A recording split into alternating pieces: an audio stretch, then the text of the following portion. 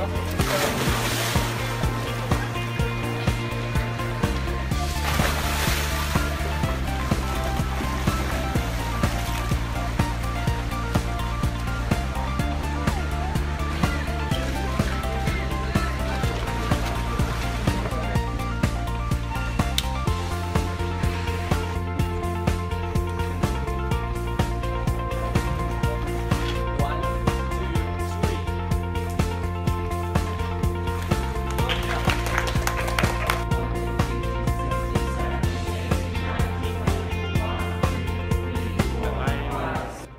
I'm 19 years old. I'm from uh, Bielotserkva. It's near to Kiev.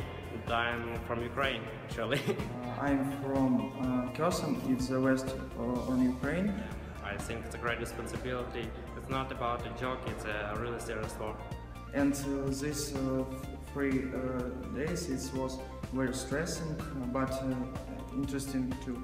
Hello, my name is Masha. I'm from uh, Ukraine, especially uh, from Kiev, and uh, I have just passed the uh, CPR, and I'm so happy.